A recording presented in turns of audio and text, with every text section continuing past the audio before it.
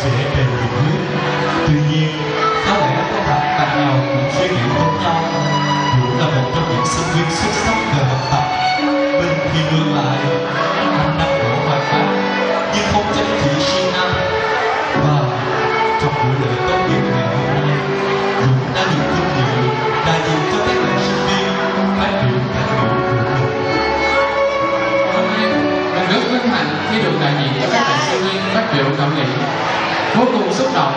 nhiệm khi đã được học yếu tại trường số 1 năm qua với các bạn và thầy cô. Và lời cuối cùng, em xin được thay mặt các bạn gửi lời cảm ơn chân thành đến các thầy cô là người cha, người mẹ thứ hai đã dạy cho em hàng người. Trong giây phút xúc động này, mình rất mong các bạn có thể lên đây nắm tay mình và hát những câu hát cuối cùng.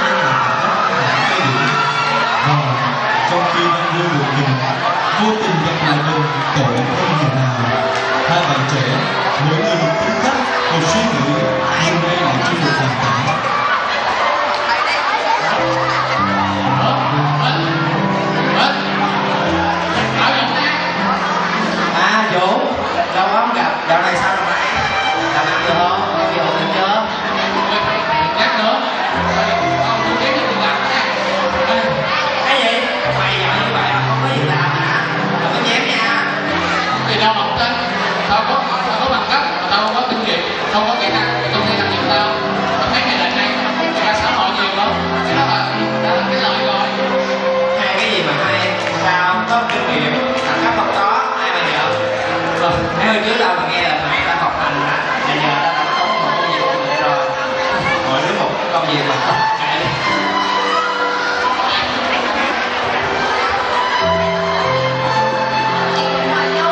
vợ vô tình gặp lại thầy Hòa đang trên đường đi dạy. Hai cậu học trò vội vã chào và mời thầy ngồi vào chung. Gặp lại học trò cũ, vừa mừng lại buồn vì thấy